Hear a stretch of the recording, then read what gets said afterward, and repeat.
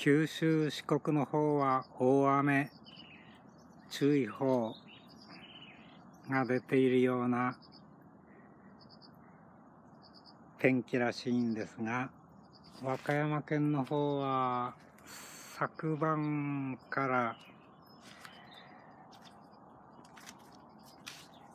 いい雨が降ってくれた程度で今上がっていますがまだ昼過ぎ午後から降るとは思うんですがねそれでもしっとり濡れるような雨でしたので生気のなかった植物の葉っぱたちが元気を取り戻した感じですね。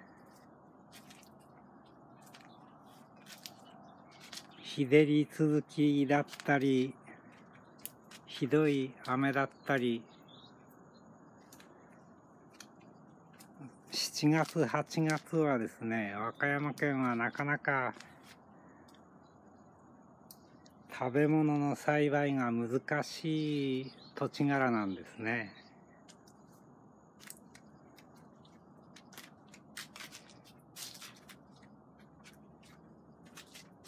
サンルームの中は直接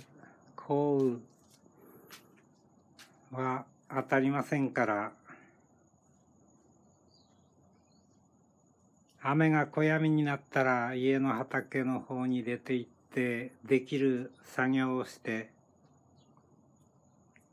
あまり濡れるような雨になってきたら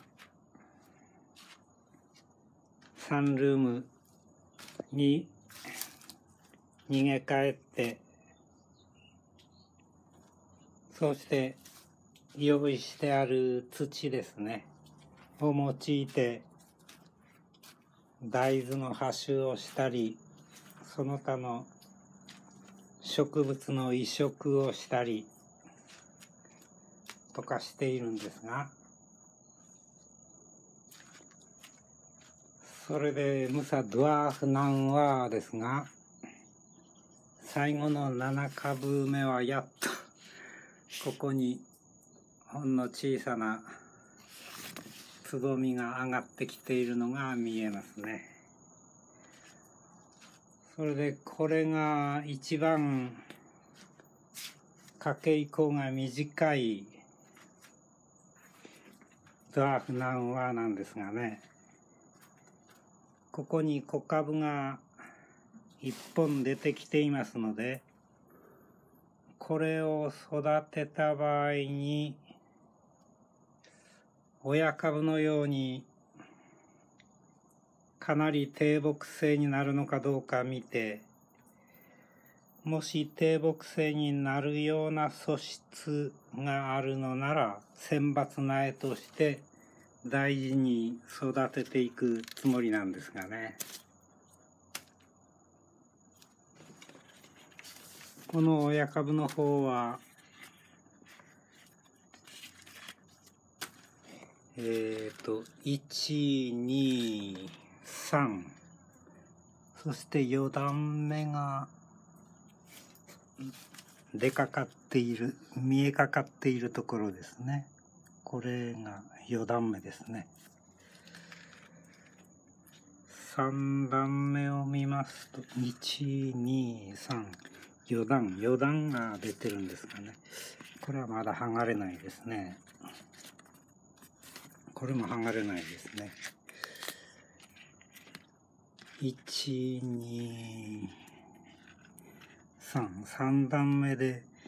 2、4、6や、1、2、3、4、5、6、7、8、8本ですね。あんまりたくさんはついてないですね。これ家計も細いですし、背丈も低いですからね。まあ40本ぐらい取れればこれならまあまあだろうと思うんですがね。50本まではいかないかもしれませんね。それで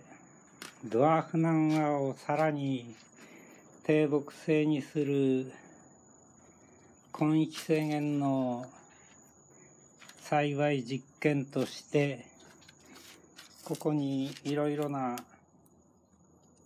ポット透水ポットルートラップポットなどに家計カットバックしたものを中心に苗を植え込んだものを並べてサンルーム内の路地植えと大きさとか家計の太さを比較してみているんですがね。自分で仕分けした段階としては第3ステージのものをここに並べていって2回ほど出品はしてあるんですがその中で家計が一番たくましくなってきているのはこの株ですね。葉っぱはこんな感じ。ちょっとこれは親株の方に入り込んでいて窮屈そうですが。それで、そちらの、まあ、結実中の親株の家系と、こちらの、これは、透水ポットですね。透水ポットに植え込んだここでカットバックしたことがある苗なんですが、の角形の太さを比べると、もちろん重絵の方は、重絵の方がたくましいんですが、透水ポット植えとしては、これが、だいぶ、重絵のものに近づいてきているんですね。ですからこの透水ポットの環境で苗が出てきて窮屈そうにしているのいたのはこれでこれは切り分けてですね根切りで切り分けてポット上にしてあるんです。もう2株は小さいですから粉苗ですからそのままにしてあります。このまま置いていって冬は当然休眠しますが、来年4月ぐらいから成長再開して自由への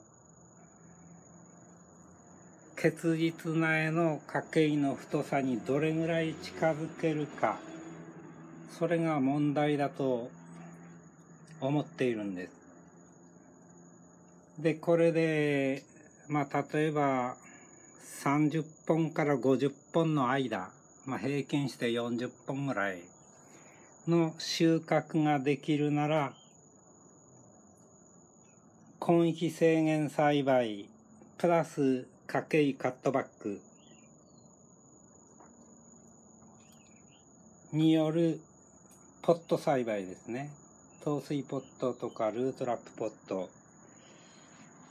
などに植栽したバナナ苗の第3ステージから第4ステージへの移行の後の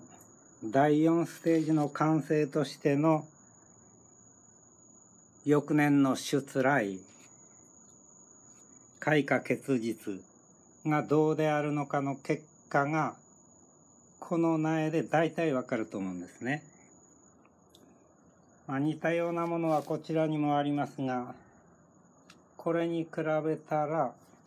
家計はまだ細いんですね。似たり寄ったりのもあるにはあるんですがね。で、背丈も大体こう、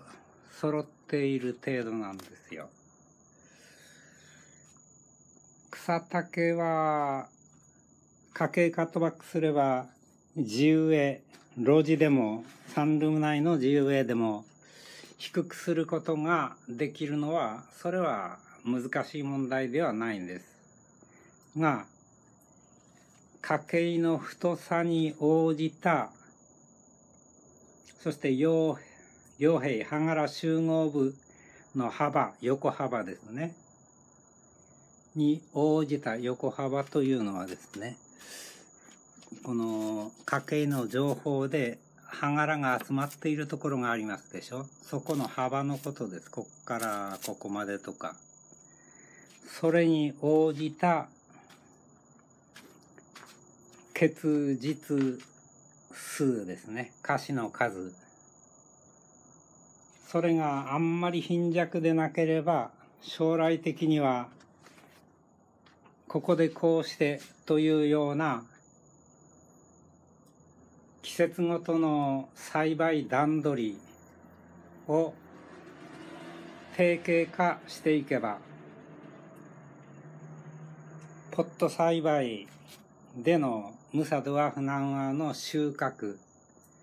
の確実度確実性が上がっていくと思うんですね。そうすると、まあ味覚は問題なく美味しいので、デザートバナナとしても極上味のバナナ苗であるムサドワフナンワの普通のドワフナンワのサイズよりもずっとずっとというかもっとですね コンパクトな草子で収穫を本州の方たちが楽しめるというふうになるように思っているんです。まあそれに路地植え半分あと今言いましたようなポット栽培での結実収穫ということをまあ半々ずつですねやっていくのが余生のバナナ栽培の仕事になるだろうと考えて本年のムサではフナンはのコンパクト栽培コンパクトポット栽培ポットによるコンパクト栽培をある程度確立してそうしてそのように収穫してみたいという人たちへの道を切り開きたいと思ってるんですね。たまたまそうなるというのは、それは越冬ダメージの家計カットバック苗などを用いれば、たくさん植えてると、おのずと出てくるんです。が、そうではなく、自分でこれぐらいの草丈でこれぐらいのカシ数をつけるものをポット栽培で得たいという確実性のある栽培収穫を目指す方たちへの目安を残しておきたいんですね。まあ、自分用の食用デザートバナナとしてのムサドワーフナンは、なら別に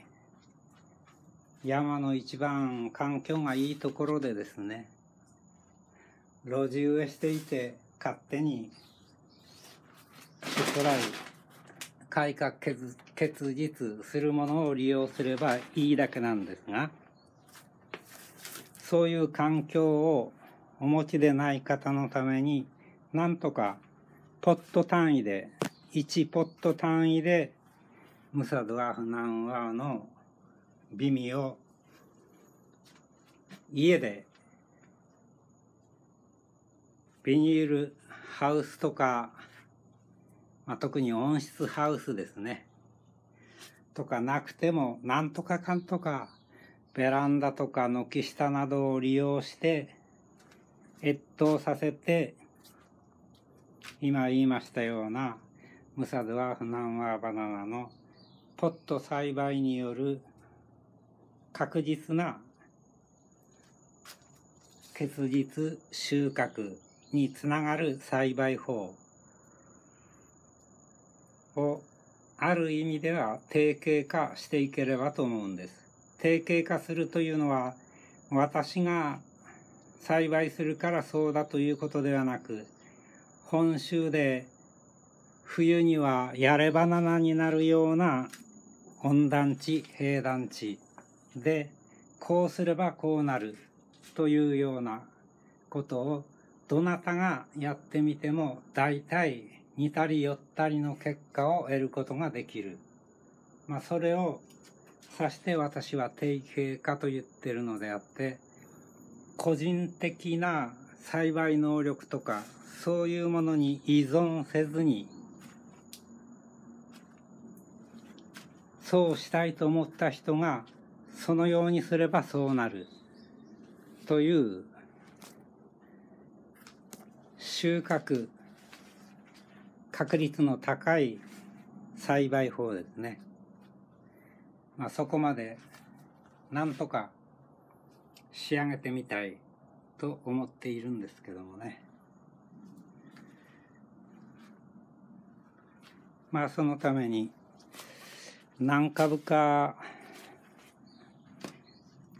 というよりもここで家計が太めのは12345 6ですね。6株ポット上を並べてあるわけです。その前の段階のとかもここに並べて様子を見てはいるんですけどもね。まあ、他の地域でどうなるのかご報告いただければと思ってとりあえず本年はグリーンのポットにですね植え込んだものを2度出品してみているんですが越冬とか来年の成長再開とかの状況を教えてもらって自分のところでやっているのとその他の地域で栽培してもらうのと何らかの相違があるものかあるいは似たり寄ったりの結果が得られるものか。まあそういうことも調査しながらもうちょっと手広く調査しながらですねなんとかある意味では美味しいバナナの低木性栽培の確立への第一歩だけでもですね確立させたいと思ってるんですね。苗はまあ大体こういうふうにやればいいだろうというものは作ってきていますので苗の問題はさほどないんですがねあとは栽培法の問題ですね。特に私は無肥料栽培、無施肥栽培でやってきていますので、まあ、肥料を買ったりとか、そういうこともせずにできる栽培法で収穫、そして食べる方、食べることの享受もできる。という意味で苗とポットとまあ何らかの土があればどなたでもまあ3年4年かけて美味しいバナナを自分で栽培した美味しいバナナを享受できるというところまで持っていければなと思っているんですね。